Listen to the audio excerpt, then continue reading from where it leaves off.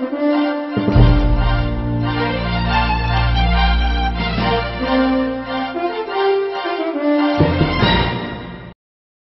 众朋友们，大家好，欢迎收看新唐人电视台热点互动节目。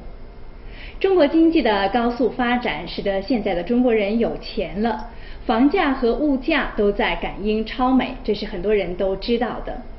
那么，如今富起来的中国人收入状况到底达到了什么水平呢？这个问题又是很多人没有概念的。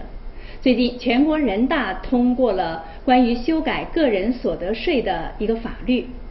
将个人税的起征点由两千元提高到三千五百元，正是这个修改所带来的变化，让我们可以从中看到中国人收入状况的真实情况。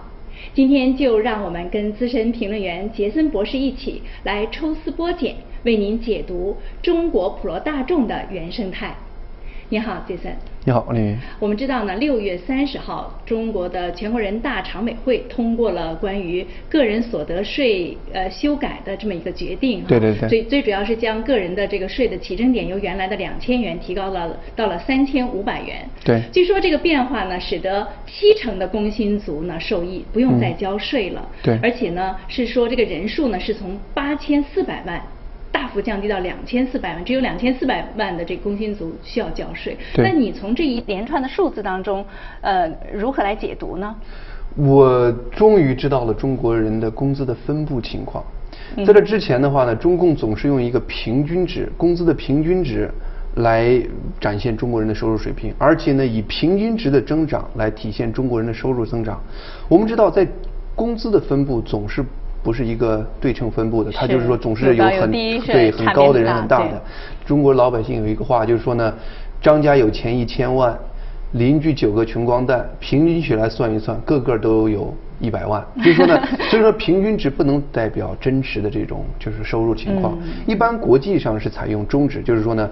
中间的这个加收入，就是比他高的有五百分之五十，比他低的有百分之五。那么这个人他能表示整个这个人群的这个收入状况。但是中共拒绝用这个词儿，所以说呢，我一直一直都不知道中国人到底分布是怎么样。就是说，中国在零二零零八年，二零零八年呢就声称中国人的平均收入是将近两千两百块钱，全国。平均收入两千两百，但是我询问家人的时候，他们说呢，看看周围的人，觉得这个数字有点，有点感觉好像有点脱离现实。嗯，当然最近这两年，每年都说工资增加，就是个人收入增加百分之十五，增加百分之十的，超过国 GDP。是，当然其结果就是老百姓感觉我没有怎么涨啊。其实关键就是因为中共一直在用一个平均值的概念在涨，嗯，你就说这个平均值的概念没办法真实反映到这个真实老百姓。你说你真的就刚才那个一千万万万元户，他在再增加一千五百变成一千一千五百万的时候，别的九个穷光蛋还是穷光蛋的时候，那每个穷光蛋也就平均了涨了百分之五十，就是被被被涨被涨工资了。所以说呢，整个这个这次我第一次看到，嗯，什么概念呢？他说呢，原来。能工资能能到两千块钱这个起征点的，嗯，只占整个工资人数的百分之二十八，这个就让人很惊讶。嗯，而说呢，他说呢，到现在呢，如果起征点升高到百分就是三千五的时候呢，达到这个标准的整个工资水平。中国只有百分之七点七的人达到。这里面有一个概念，就是说，它这个工薪族到底是它不是全体十三亿、十四亿老百姓？不是的，不是的。它这个整个它这个整个工薪族，你要是反推回去的话呢，你会发现它大概估计中国纳就是工薪族有个三。点一亿人，这是怎么算的？这个是就是说，你比如他说这个现在七点七，这个百分之七点七的人就是工资是在这个三千五百块钱以上。嗯。那么他这个人数是多少？是两千四百万。你倒推回去，大概就是三点一亿。三三点一亿。嗯。那么首先的话，这个数字就是让人非常惊讶，就是跟人理解的非常不一样。就是说，一方面整个中国就是说啊，全球奢侈品市场第二大。是啊。整个就是说呢，到国外抢购奢侈包让美国人惊讶，轰高美国、加拿大的房地产。嗯。就是说，你让。中国人就觉得好像中国人已经富得不得了了，对。但是你转过来再一看的时候呢，只有百分之七这个七点七的人，工资达到了一个月三千五百块钱，折合美元大概也就是个五百一个月五百块钱或者美元的这样的状态。就是整个来说的话呢，就是说你就是跟这个整个媒体上宣传的所谓的中国人的收入是很大的一个脱节。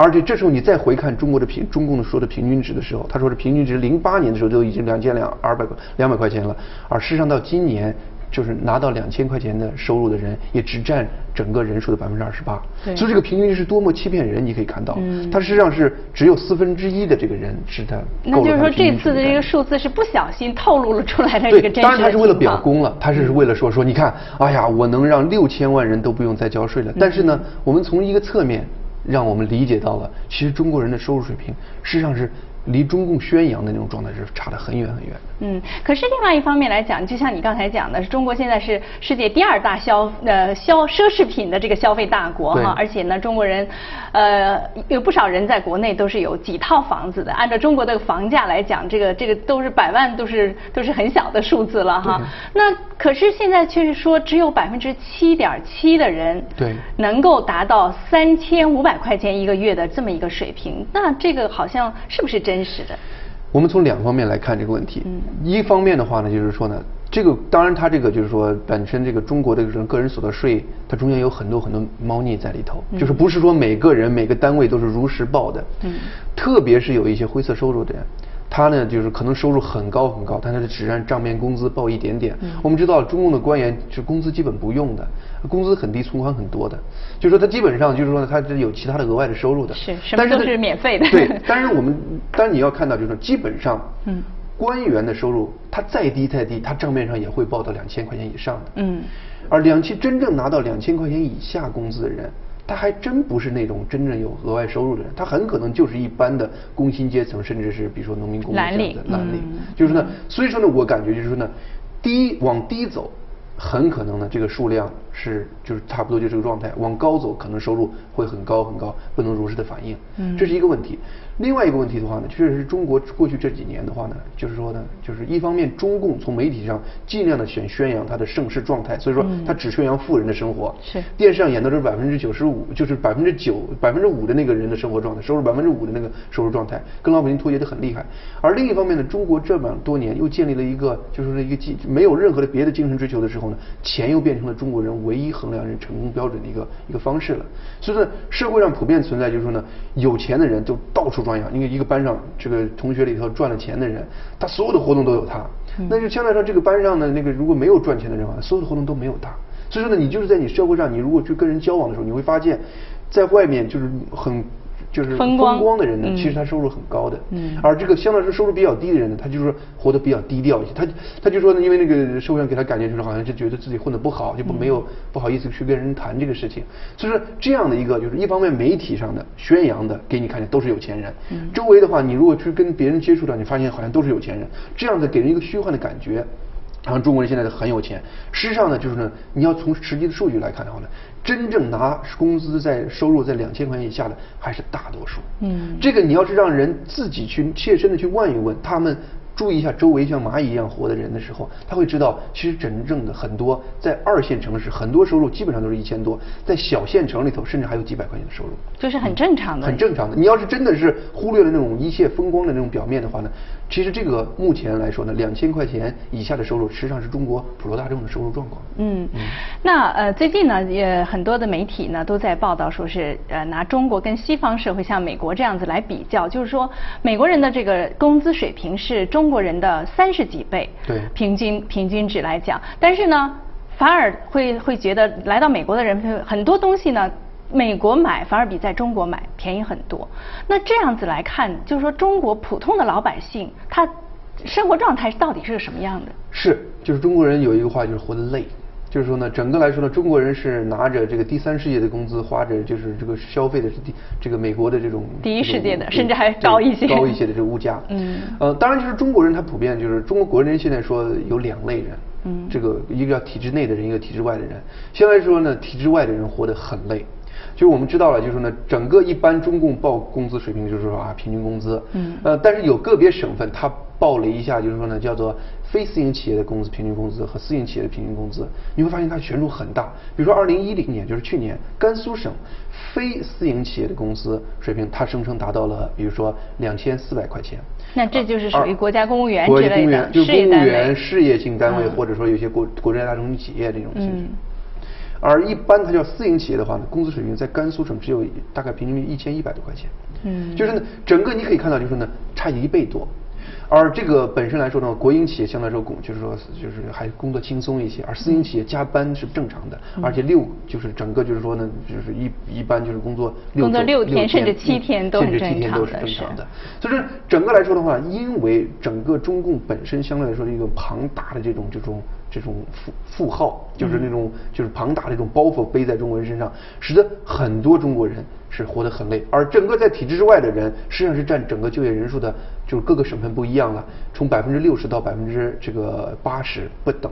是大多数人群，嗯。所以说呢，某种意义上讲呢，大部分中国人是体现的是活得很累，这种累来自于生活本身很累，社会环境很累，社会就自然环境很累，同时的话，因为收入和物价整个之间的脱脱失去比例的这种增长速度，也使得每个人都活得很累。美国百分之五十四的家庭是只有一个人收入的，而中国你双职工去工作，而且收入还仅仅维持一个能活着的状态。温饱。对。整个来说呢，很你就可以看嘛，中国现在肉价一个月就是是一猪肉也十四多块钱了，一个一个人一个月挣一个月工资买几十斤肉，就只能购买几十斤肉。整个来说呢，中国人的活的这种辛苦程度，事实上呢是国际上很少见的。是，嗯那呃，但是不管怎么说，咱回到这次这个个人税这个修改这个起征点这个问题上来讲，呃呃，好像报出来的数字说，这这次修改之后呢，使得国家呢少收了一千六百亿的这个税收哈。那这个听起来好像真的，他这个这个政策好像也是在让利于民了，你怎么来看？